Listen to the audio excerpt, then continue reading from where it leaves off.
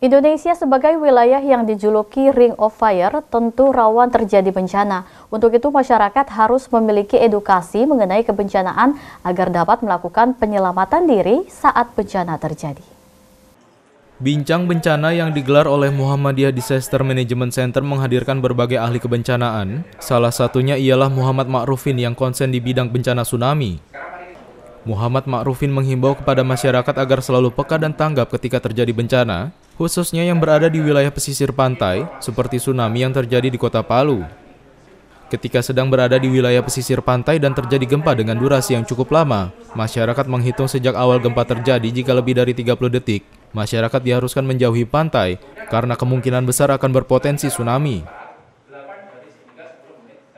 Kalau yang harus diberikan itu banyak, tapi pada intinya yang ingin kita apa ingin ingin kita tekankan itu adalah ketika kita mengalami sebuah peristiwa gempa dan itu durasinya lama, itu bisa dihitung kok ya. Jadi ketika kita mengalami gempa dan kita sedang berada di tepi laut atau di pantai, kita hitung dulu dari awal gempa itu berapa? 1, 2, 3, 4. Dengan hitungan biasa.